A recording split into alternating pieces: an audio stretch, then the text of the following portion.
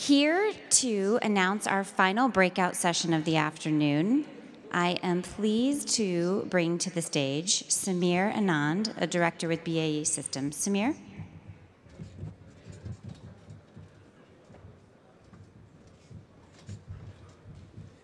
Thank you. Uh, it's my pleasure to announce, uh, uh, to introduce the panel. Uh, Gunjan Bagla is a former president of Pan IIT Alumni. He's author of Doing Business in the 21st Century India, published by Hachette, and writes about India for the Harvard Business Review. His company, Amritt Incorporated, drives USA India business with clients across diverse industries such as life sciences, consumer products, defense, and high tech. Companies from Boeing, Clorox, Medtronic, Roche, to early stage startups have benefit from his, benefited from his expertise. Gunjan is a graduate of IIT Kanpur in mechanics and in mechanical engineering. Um, today you've heard a lot about artificial intelligence. Okay, uh, this panel is going to be about real intelligence. okay, uh, you also heard uh, Vinod Khosla in the morning say that uh, most experts are wrong, and they are wrong most of the time. Okay? And I think that's, and I've heard him say that before, and it's usually because many experts are looking at spreadsheets and trends and extrapolating from that. I can tell you that each of the experts here is not going to deliver spreadsheet insights, but wisdom from what they have learned over the years, and we are talking primarily about India and the future of India, not so much the past, but really India in the present and going forward into the future. Okay? I encourage you to send your questions on the app. If you keep the questions short, then we may ask them, and I may even identify you or ask you to stand if we choose your question. Uh, some, we only have 45 minutes, so there are some topics we've decided we don't want to cover, not because they are not relevant, but we just don't have time in 45 minutes. So don't ask us about Gaza. Don't ask us about Ukraine. Um, what else did we say was, uh, don't ask us about the Maldives, please, okay, if you've been following the recent news, okay? Uh, it's no, we don't want to stay away from controversy. If you want to ask about Adani or Ambani, please go right ahead. And uh, this is going to be like a bull session on the IIT campus, sitting in the canteen or the quadrangle or whatever you had on your campus. But before I do that, let me identify how many people are here who are not IIT alumni. Okay, you are most welcome here. Okay, and how many people are visiting from India? Okay, a few people here. Please participate and give us a critique on what we are going to bring up. Uh, we have one panelist from India, uh, Jaijit Bhattacharya. We have three from the US. And if we were trying to meet the DEI requirements of diversity, equity, and inclusion, I think our panel is the absolute best. Okay, we have the token white person, we have the token woman, we have the token person, you know, a, a, a pro-government Bengali, and a guy named Mody who wrote a book called India is Broken. Okay, so we are covering the entire spectrum. Okay? So, ah, let me see. Uh, let me start with Rick Rossow. Rick is currently on the board of the US India Business Council, which is part of the US Chamber. He is the India chair at the Center for Strategic and International Studies, someone I have known for almost 20 years. Um, and the chair for India Studies was formerly funded by one of the Wadhwani brothers, an IIT alumnus. Uh, it is now funded, I guess, by CSIS itself. So, uh, you know, India is a federation, although sometimes people forget that, okay?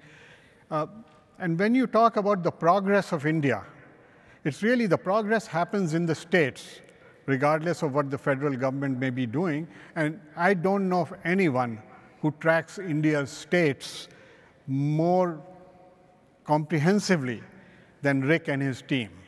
And they put out a, you know, a newsletter and tweets about that. Since we have a limited amount of time, we are not going to talk about the states everyone hears about, you know, Gujarat, Maharashtra, Karnataka, Tamil Nadu, whatever, you know, Yogi state, my home state, UP. Tell us about a state that's doing well, Rick, that many in the audience may not know about or realize. Yeah. Thanks for that, Gunjan. Um, yeah, states collectively are going to have a much bigger impact than the national government is in terms of what India's development trajectory looks like. There's not a lot of transparency in what states do for changing regulations and trying to improve or sometimes worsen the business environments, what that means for India's climate uh, commitments, what it means for India to actually take some of that manufacturing away from China that we all kind of hope will happen. So you're right. A lot of times, you know, Gujarat, which has done great work on reforming power grids, improving the business environment, Maharashtra, where, you know, between Mumbai and Pune, you've got two dynamic centers where a lot of investments happen. But the one dark horse that nobody really talks about right now, that personally I'd put a nickel on by saying that I think they're poised for takeoff, is the state of Odisha. Not one that you normally hear about, but. What's the pronunciation now? Odisha? Odisha, right? We used to call it Orissa when we were young. So just to be clear. I'm trying. I'm yeah. still not on no, with you're, Bengaluru. You're and do not ask me to say Gurugram in the audience. Um, but uh, Odisha, the reason I say that is because you know reliable access to electric power is one of the uh, one of the things that businesses need most urgently when they think about investing in India. Not the only, but it's one of those. And um, you know, you've had a couple of states like Gujarat and Haryana that have managed to reform the state-run discoms to a pretty effective way, but most states don't have the political capabilities to do that. Odisha has done an experiment with very few people know about. It's the only state in India that has actually privatized the entire electricity distribution system. Tata Power now owns all four discoms, majority stake, and three years on, versus the first time they tried it 30 years ago, it's going extremely well. So they haven't fixed everything, but access to electricity and the fact that you have the longest serving chief minister, so you've got relative stability of policy, are a couple of good things. So you asked me to touch on a state that not as many people mention. Uh, Odisha is one I'd put a nickel on. Thanks. Well, thank you. Thank you so much, Rick. So, uh, Tanvi, you and I have been on panels together. Tanvi is uh, a senior fellow at the Brookings Institution, also here in Washington, D.C., a graduate of Delhi University, Lady Shri Ram College, if I remember right. Um, for those of you who are on Twitter, X, I guess I should call it now, uh, please uh, make sure you follow Rick and Tanvi. And I think, Jaijit, you are also on Twitter, right? Yes, I am. Yeah. Yes. Uh, Ashok? I am also. You are on Twitter too? I couldn't find you. I'm on Twitter. Oh, yeah. Okay. All right. Um, but the funnest tweets I ever read are Tanvi's. okay? And we'll get into that maybe later on. Uh, so uh, you wrote a book on the Fateful Triangle, talking about India, Russia, China, and we'll get into that. So today, Tanvi, India is a top five global economy, okay? But when I talk to my clients, my day job is helping American companies to understand India and better engage with India, do business in India. And when I talk to people in middle America, across the Midwest, across the South, regardless of the kind of company or the size, I often get the sense that they have no idea of the changes that have happened in India. Uh, the UK, France, Canada, Korea, Italy, Israel, Australia, all of those countries get far more attention in people's minds and in American media, whether you talk about the New York Times or Chicago Tribune or, God forbid, CNN, you know, India is barely mentioned, you know, and hardly ever in a positive way. So what, from your perspective, what will it take to change that? I think one of the things that I will say is you've seen an increase in interest. And if you look at the countries, so two kinds of countries get attention usually. One is a set of countries where, which are seen as a threat. So, you know, your, your China's and Russia's, people will invest in understanding them because we worry about them. I think the others, the, you mentioned the number of countries. There are a few things they have in common. One, capabilities, that they're large economies, military powers, uh, second is presence in different ways. Uh, either they have a diaspora here, or for instance, uh, you have companies, their companies present here, or vice versa, that there are a lot of Americans in these countries, American companies, American citizens. But I think the other aspect, all of the countries you mentioned are US allies, so it's behavior pattern as well, those who partner with us. And so, to some extent, it's natural that these countries get more attention. I think as you've seen these three things for India change, uh, one, capabilities. It's grown economically as a military power, as a nuclear power, one would say. Uh, you've seen capabilities grow, you've seen attention grow. If you see uh, presence, whether in terms of the diaspora or American companies interested in India, even if it's not as much as it used to be for China, for instance, nonetheless, you've seen uh, more attention. And then finally, as India has started being willing to partner with the US and the US government has shown interest, you've seen increased uh, attention. So, you know, if you, Rick and I look back often, it was really, I think, around the mid 2000s, you saw even in DC, at think tanks, et cetera, you started to see uh, increase. Having said that, I do think on each of these fronts, you asked, you know, how do you get more attention? One, I'm not sure sometimes you want attention from the news media because it's usually when something bad is happening uh, in the world. But um, the other thing is, I think, how do you enable? One is things that India does for itself, which is, you know, if you have more uh, attractive uh, economic policy, etc., you know, even tourism, you'll get people who will pay attention to it. And that will be natural. Uh, Rick, Rick talked about this a, a lot in his own work. Uh, but I think there are, uh, there are other things that, for example, a group like this could do to enable that.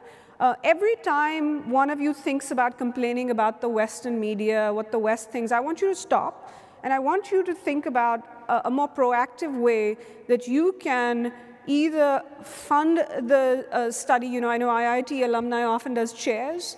Well, why aren't you funding chairs here at universities for India studies? Fund fellowships, fund study abroad programs, fund internships, whether in your companies that look at India or uh, at companies in India. Uh, each of these countries that you mentioned have invested here through these kind of mechanisms to study their own countries. So I, I think you know it's Indian companies, it's American companies interested in India, uh, and it's the diaspora that really needs to start thinking about how do you actually you know fund that actual work. And I don't mean opinion, I mean research about the country. Uh, and contemporary uh, India. So I think that the, the community can play a role and companies uh, can play a role. Uh, one final uh, thing I'll say is we talk a lot about people not understanding India. There are no chairs in US studies in India. So this is a two-way kind of lack of understanding. And I want to see an IIT chair, an IIT class of whatever chair in US studies in India in the next kind of 10, 20 years. That's, that's awesome. Thank you so much, Tanvi. So let me make it more specific to this conference here we have some of the brightest minds, and not all just IITians. You know, we had head of the Carlyle Group here. We had the CEO of IBM, right? The Washington Post isn't here covering this event, right? Neither is the New York Times. Gunjan, I just told you stop. Every time you think about yeah. complaining about the Western media, stop and move on and think about I'm sorry, I didn't mean to interrupt, but just that, That's cool, that's cool. We, we, we want diversity and we want controversy here. So Tanvi, on, from, on my own, just to give you some feedback, on my own, without any PR firm, I've got managed to get myself in the Wall Street Journal and the New York Times and the Washington Post, okay? So I encourage those of you who are entrepreneurs to try this on your own. You don't have to spend big money, but get your name, get your company's name, get India, featured in those other than stories about Maharajas and monkeys. You know, there's a heck of a lot happening in India that, that we, can, we can cover through our collective efforts here. Um, so let me move to Jaijit, who is a graduate of two IITs, my alma mater, Kanpur, and then IIT Delhi. Uh, Jaijit is, uh, lives in Delhi and uh, runs the Center for Digital uh, Economic Policy. Am I saying it correct? CDEP. Uh, he's also an entrepreneur and involved in many other initiatives. So I have a challenging question for you, Jaijit, uh, and I request a short answer to that. So India has millions of people working. In India, they say software, and I correct that. I say software services. They are renting labor by the hour or by the year or by the month, and people are writing code for others. Okay? We haven't really seen a flurry of Indian companies, Indian software product companies that are household names in the US. I'm talking about whether you think of SAP or you think of Snap or you think of, you know, other than service providers, yeah, TCS and Infosys and so on, but you know, there isn't a product that I can identify other than one company out of Chennai, Zoho. So they are a remarkable exception. So what will it take, you know, at the next IIT alumni conference, do you think we would have, you know, three companies that would be household names that produce software or digital products? Yeah, I think Gunjan, these are one of those uh, holy grail questions. and I'm pretty sure everyone in this audience will have a view on it. So, and all of those views are correct because it's, it's a very complex issue. But let me step back a little bit and look at what's happening, not just in India, but globally. Um, how many products came out from the rest of the world outside of the Silicon Valley, outside of US? Um, if you look at Europe, again, about a $20 trillion economy, how many new products came out? It was Spotify and then Skype and um, what else you remember? SAP. Yeah. So SAP was 30, 40 years back. I'm talking about the, the last 20, 30 years. Um, you've got China, which um, started coming out with products about 10 years back. And the companies which were formed in around 2000 started kicking off around 2007, 2008, like the Baidus and the Tencents and so on and so forth. And if you look at India, we are at, uh, from an economic perspective, at the same level that uh, China was in 2007, 2008. We have roughly the same GDP now. So that's the trigger point where things will start happening. But that's just one factor. The economy is just one factor because look at Europe, it's much bigger uh, and it's still not producing too many products. Um, one of the key issues is the ecosystem, right? And what does ecosystem mean? That uh, if you don't have the right set of um, players and stakeholders, you can't just create a product out of the, out of the blue, which, is, uh, which fits for the world's requirement. So let me take a, a, real example of what happened in about 1813, 1814. There were two legislations that were passed in the British Parliament, and it's all there online for the British uh, parliamentary records, where they passed a legislation saying that um, Indian ships, um, which are below 350 tons, will not be allowed to ply between Britain and India. And uh, you can't have British flag on them, and if they carry goods, they'll be taxed extra. And why 350 tons? Because the British couldn't produce uh, the larger 1,000 ton ships, which India was good at. And basically, the shipwrights went to the king and said, look, you know, um, they got a better, uh, I can call it the TCO in today's language, a, total cost of ownership. They're bigger, stronger, lower maintenance. So when your Royal Navy needs us, we won't be around because we'll be dead by then. So please do something.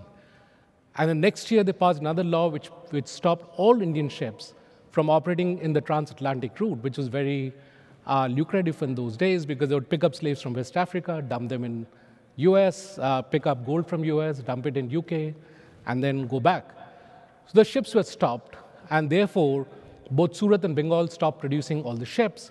So when the iron ships came in, India was not there in the scene. So then for the next 100 years, there was no ecosystem. So you can't have the next set of innovation happening in void. Well, let me you interrupt you. When, when, do you think it will happen? When will we see? So when, um, same as what China did in that sense, you know, the government intervention was needed, right?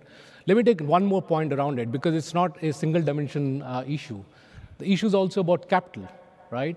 Look at OpenAI, $13 billion pumped in at the right time with the right set of people. I've got to push back at that. Software doesn't need a lot of capital. Needs, well, products, needs a laptop and a million dollars and you can get there. But I appreciate your input. Let's move on to, yeah. to, to our friend Ashok at the other end here. Um, Ashok's book was published a few months ago, I think. Uh, it's called India is Broken, and he's written extensively on that subject. Uh, so I have a challenging question for you as well, Ashok. So if your name wasn't Ashok, and it was Narendra, and you were given the power that Narendra Modi has, what would you do? What are the top two or three things briefly that you would do to fix the India that you see as broken? Yeah, it's a very good question. And I have, uh, in fact, in my book, I do say that if I was Tsar of India for a day, and I could do only one thing, I would create a world class mass education system. That is the central predictor of economic success and progress for the last 250 years. Go back to Adam Smith, 1776. Adam Smith is considered the prophet of free markets. What does Adam Smith says? It is the obligation of the state to create a first-class mass education system. Just note the word, mass. Mass means everybody. Today, the data shows that 85% of Indian kids finishing school do not have what are called basic skills to participate in a global economy. So yes, we have some very fine people. I'm not denying that. But you want to make progress on a large scale. Look at China. We keep comparing ourselves with China. The same percentage for China is 15%. China has some of the world's most intensely good uh, educational institutions, right from primary school, secondary school, through the universities. There is no example in history of a successful nation without a proper, well-functioning education system. And if there was a second thing I could do, I would try work hard on gender equality. That's the other thing that, that history tells us. Adam Smith did not talk about gender equality, but since then we know that gender equality is, is crucial. Crucial both for the social purposes and for economic purposes. And we, are, we lack woefully in gender equality. So you don't have two of the basic foundations for long-term growth, mass education and gender equality.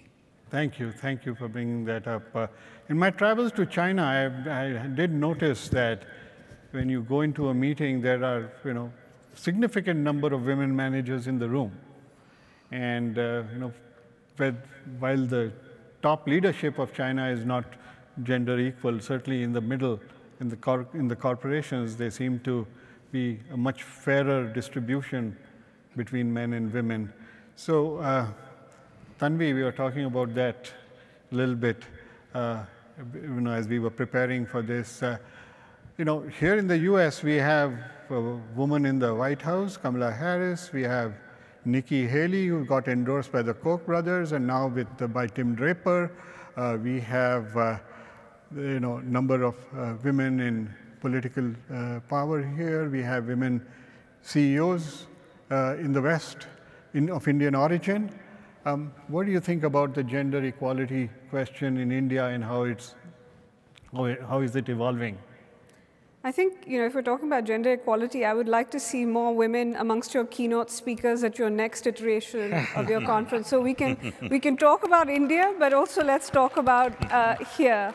Um, I, I, will say, you know, I would say the most successful to add to what Professor Mody said, when you look at public policy interventions around the world, the most impactful in um, uh, kind of one factor that makes a difference, not just directly, but second, third order effects, is female literacy.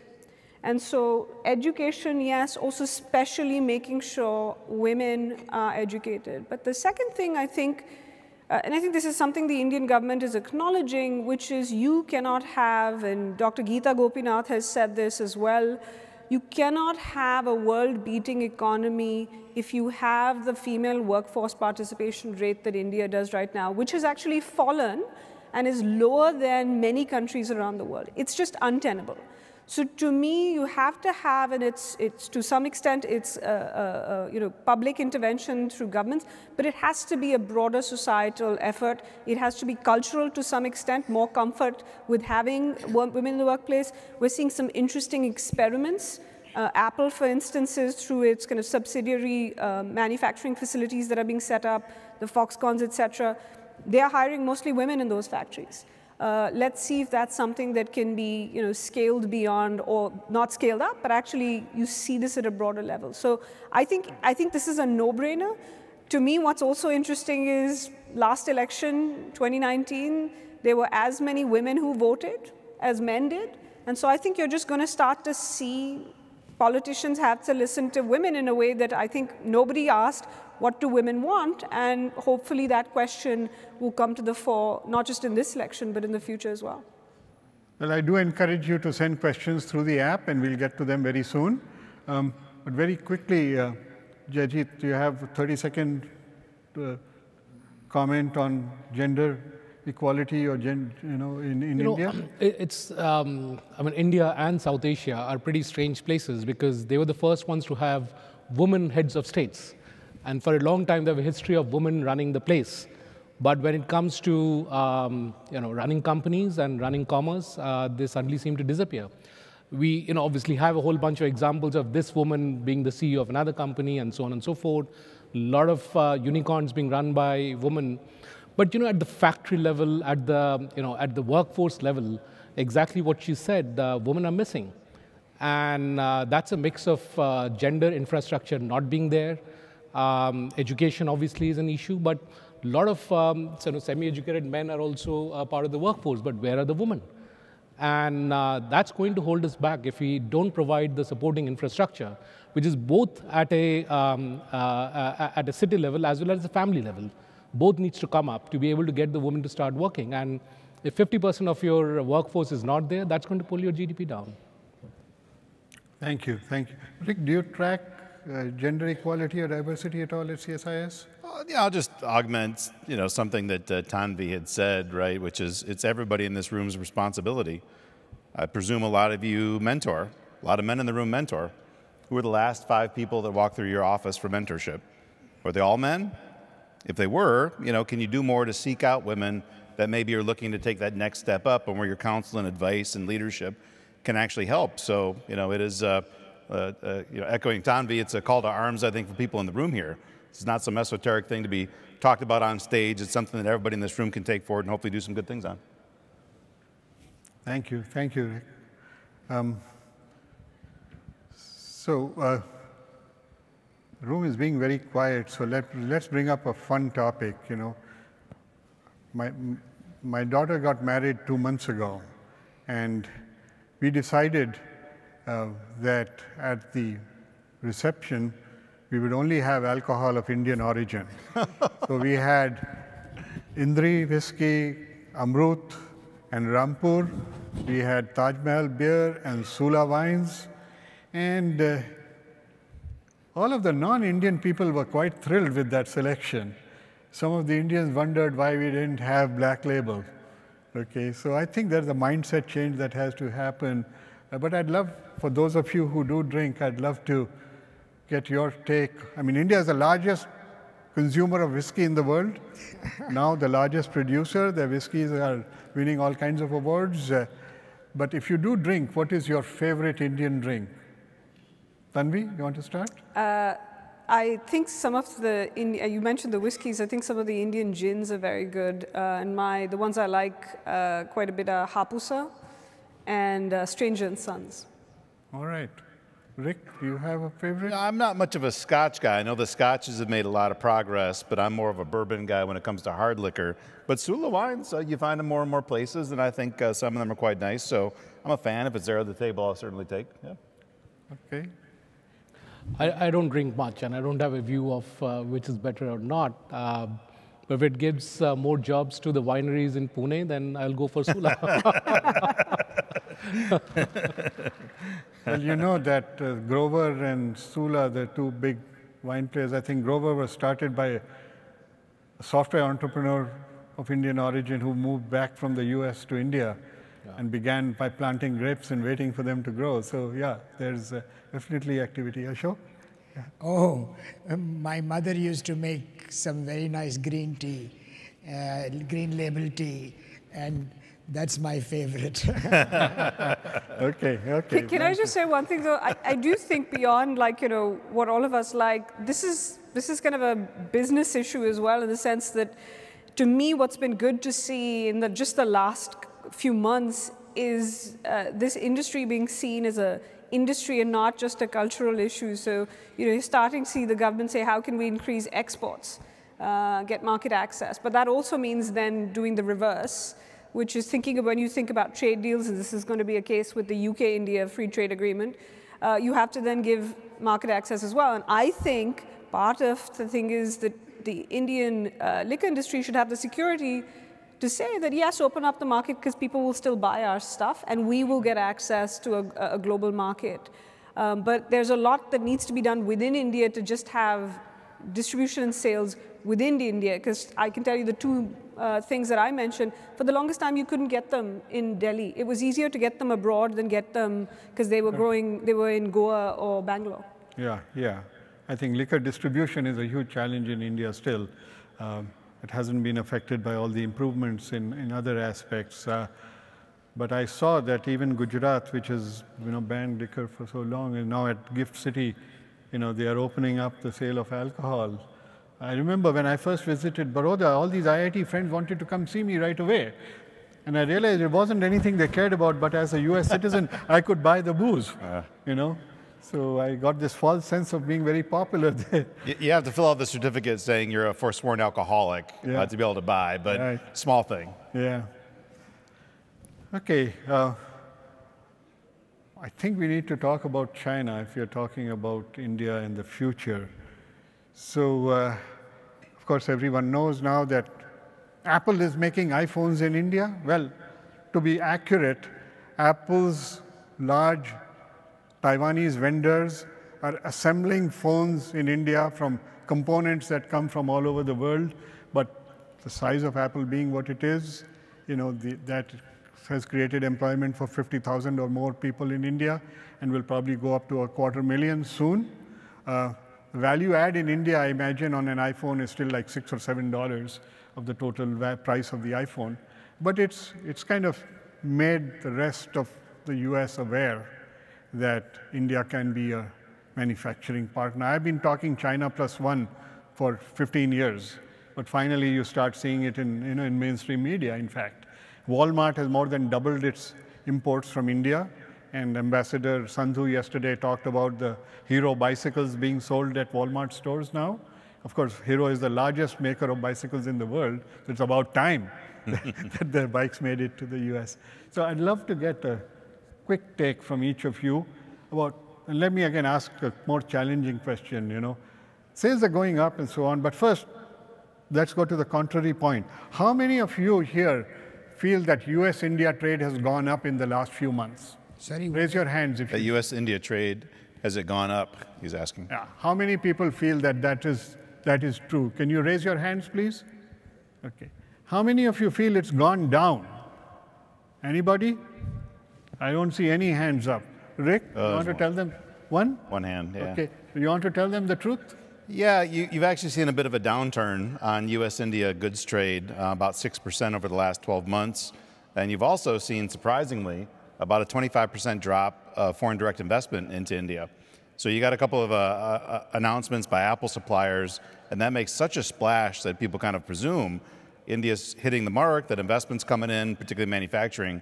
But the government of India's own numbers show that really that hasn't quite happened yet. So um, we just had, of course, uh, the U.S. Trade Representative was just is actually in India right now.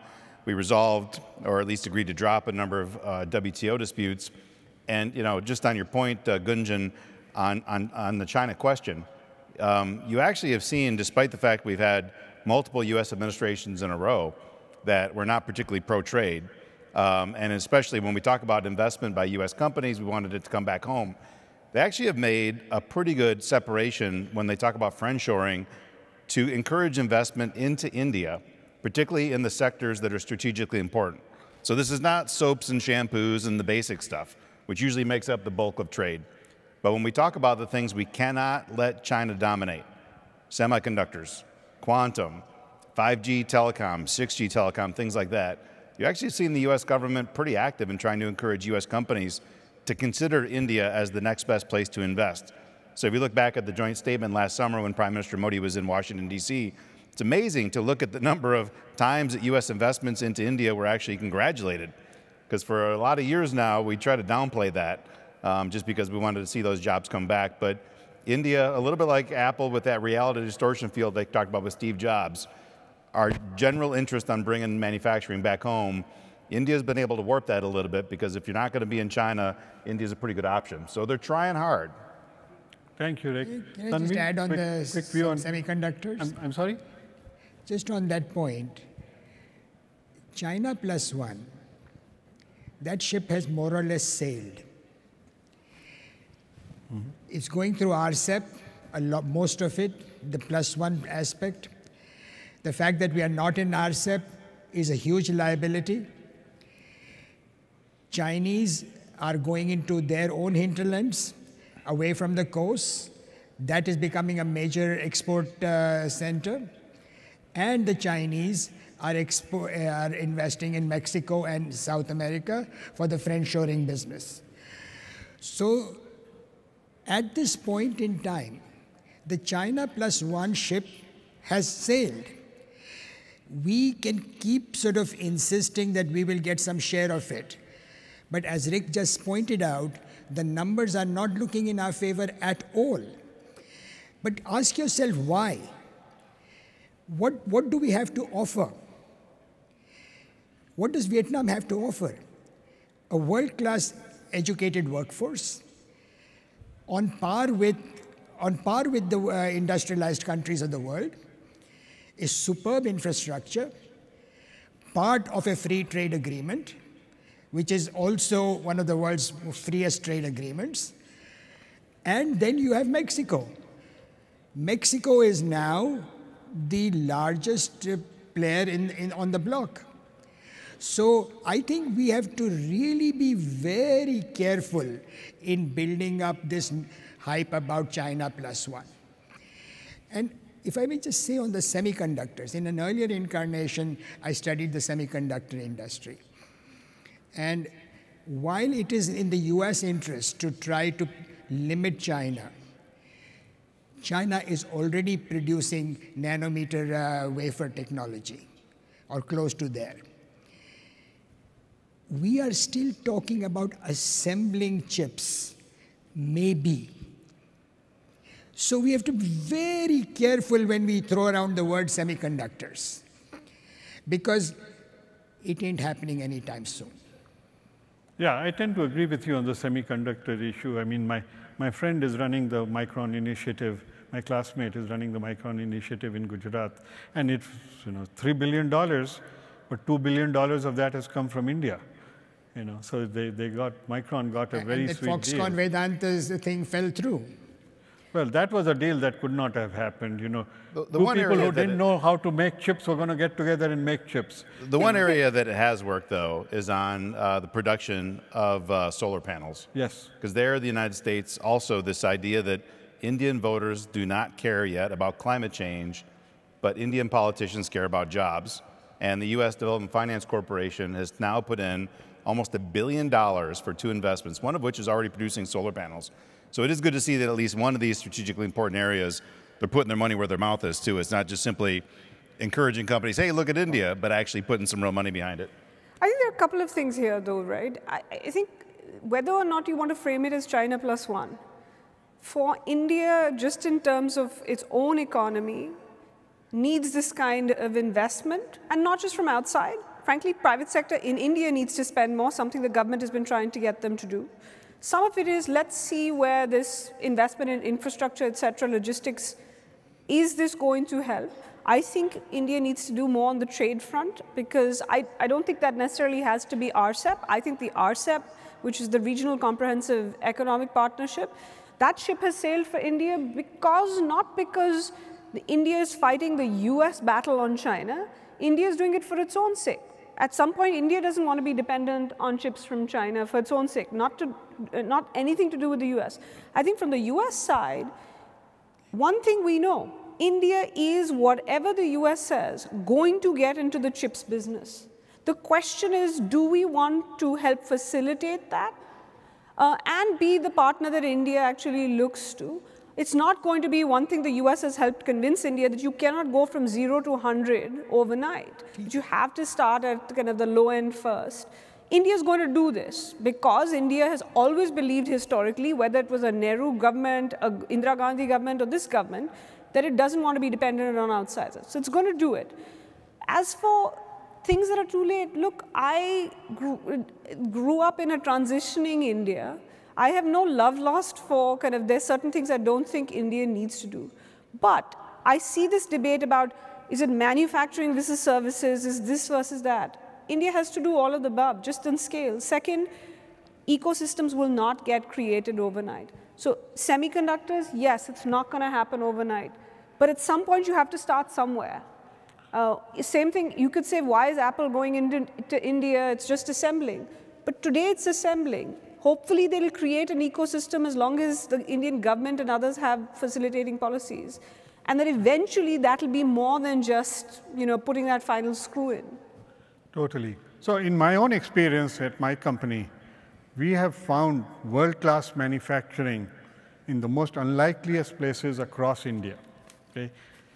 And US private equity is buying up many of those companies, so there's a vibrant investment collaboration going on you know, with, uh, with the two countries. Uh, you know, Stephen Schwarzman famously said, you know, his best investments today are in India, the head of Blackstone. Um, Advent International, which is, which is a private equity firm, is buying biotech companies in India and globalizing them. So it's happening across you know, many, many different industries. And when I take my clients to visit manufacturing facilities in India, sometimes they are absolutely blown away by the quality. You walk inside the factory, you can't tell that you are in India. You know, I've been to Bharat Forge in Pune. I've been to the largest plastic bottle maker in India. We walk inside there, and it's absolutely world-class operations. You can't tell that you know you are not in Europe or or, or the United States. Uh, biotech is growing by leaps and bounds. You know, so I was at the J.P. Morgan conference, and most people there don't didn't know this is the healthcare conference. Most American executives don't know and recognize that India is the largest vaccine maker in the world. Let me take a quick anecdotal example of exactly yeah. what you're saying. They're telling us time is up, so you have right. the last no, very seconds. quickly. So we were setting up a missile factory, and the components started to be coming from Germany and, and, and other places. Pretty quickly, we realized that they were actually being produced in Coimbatore and so on, yes. going to Germany and then coming back. so the, your point of things being um, you know, already there in place, it, it, needs to be discovered and put together. Yeah. And um, you know, the, the logistics handicap used to be 14%. Yeah. The recent statistic shows it's now 8.5%, which is same as most of the places in the world. So yeah. it's a marathon, and the bridge is getting uh, closer and closer. Absolutely. So two quick things. Uh, the speakers will be outside that door. So if you have one-on-one -on -one questions, most of us will be there to answer them. Uh, the organizers want me to ask one final question which is if you were to sum up India in one word, okay, let's go with one word, not one phrase if you can. What word would you choose? And let's start with Ashok Mody. Hope. Hope, all right. India's time. Flexibility. Aspirational. I will go with energy. Energizing, I should say. Well, thank you, audience. You've been wonderful. Thank you, panelists, Tanvi, Rick, Jaijit, Ashok, and thanks to the organization for doing such a great job. So thank you, panelists, for a very energetic, hopeful, and stimulating conversation. Uh, just one more thing. Uh, Gunjan has two copies of his book, Doing Business in 21st Century India. So we're going to give it to the first two people who submitted questions. I know there were a lot of questions. We may or may not have gotten to these questions. But if George Koshi and Himanshu Shekhar can meet us outside the speaker's lounge, uh, we have a couple of copies of this book for you. Thank you. Thank you so much. All right, that's a wrap for all of our sessions for today. Um, we do have a meditation uh, session going on. If you, again, check your app or uh, the website for details there. And then we also have those campus sessions starting at 5:45 p.m. and going till 7:30 p.m. So again, check your agenda, uh, see which one you'd like to attend, and make sure you don't miss it. For those of you who purchased a gala ticket with your conference registration, um, you'll have a G on your badge, um, and that gala is this evening. And uh, definitely promises to be a good time. So if you're going, please enjoy. For the rest of you, I hope you have a wonderful evening and look forward to seeing you tomorrow morning. Thanks so much.